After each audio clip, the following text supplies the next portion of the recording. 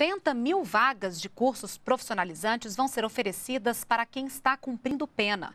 A ideia é qualificar essas pessoas para facilitar o retorno ao mercado de trabalho. Trabalhar. Essa é a palavra de ordem para Deusilene. Depois de passar mais de um ano presa sob regime fechado, ela passou a fazer parte de um programa de ressocialização do Distrito Federal. A copeira ainda cumpre pena, só que agora em regime aberto. Aqui ela ganha um salário que ajuda nas contas de casa e ainda reduz a pena. O salário que eu ganho aqui ajuda muito a minha família, porque a gente, quando sai do presídio sem emprego, a gente vai bater numa porta, sempre as portas fechadas para um ex-presidiário. Três dias de trabalho da Deusilene rendem um dia menos de pena a cumprir. E quanto mais se aproxima do fim da pena, mais ela se preocupa com o futuro. Deusilene sonha em arrumar um emprego quando sair da prisão eu já fiz vários cursos aqui dentro mesmo, fiz postura, imagem e Word. Então, é assim, um, é uma, uma, coisa boa para o meu novo currículo quando eu sair daqui, né? Porque aqui é um... É só um amparo que a FUNAP traz, né, para a gente. Quando acaba a pena, a gente tem que sair. Então, eu acho que quando for bater numa porta, já tem um...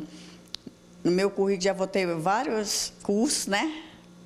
Profissionalizantes, né? Então, eu acho que para mim vai melhorar bastante, né? Cursos como esse que a Deusilene fez também fazem parte do Programa Nacional de Acesso ao Ensino Técnico e Emprego, o Pronatec. Segundo dados do Ministério da Justiça, a população carcerária do Brasil até 2009 era de 473 mil presos. Quase 12 mil deles estão ali, no complexo penitenciário da Papuda.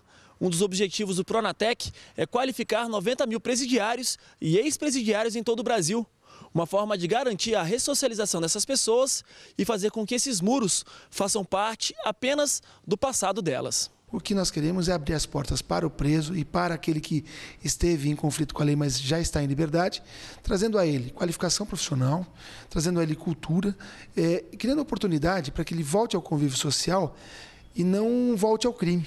A assessora jurídica da FUNAP do Distrito Federal, que é a Fundação Nacional de Amparo ao Trabalhador Preso, explica a importância de capacitar essas pessoas. Além da, da remissão da pena, essas pessoas recebem um salário, elas passam a ser provedores da sua família e também, é, como fator social, eleva a autoestima, profissionaliza e traz um benefício para toda a sociedade.